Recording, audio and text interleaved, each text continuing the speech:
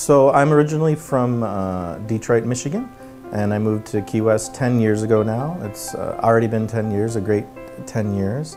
And I started painting, there wasn't much time to paint in Detroit, or I didn't take the time to paint, but ever since I moved to Key West, I've been painting. Um, so it's, it's going on 10 years now, and I've been a, um, the Studios of Key West, a resident artist for about five of those years.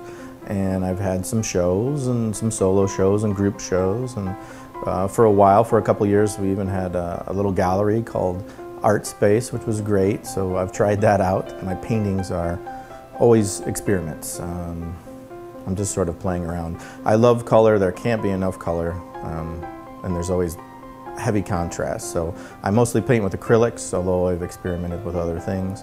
And my subjects are usually people that I know. I paint a lot of animals. I paint a lot of people, uh, predominantly women, and architecture. I'm an architecture uh, student. I've always loved it. I actually went to um, school, an architectural school in Michigan, and I do a lot of animal portraits, pet portraits, uh, which was sort of happened by chance. And I have a great little dog, Mad Dog, Wonder Dog, and I painted her a couple times and people loved it and it just sort of took off. So to the point where I almost cannot paint all the animals that people want me to paint. But it's always a fun thing to paint some a dog that's six foot by six foot and see it in someone's house.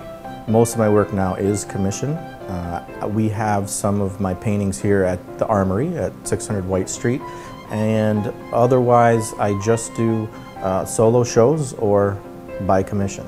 Uh, if it's people or anything you love, especially, if it's a person, an animal, or, or even your home, if you love it and are passionate about it, I'm, that's what really gets me going. You can find us at the Armory Building right in downtown Key West. We're on White Street. Right upstairs There's a whole crew of us happy to talk to you.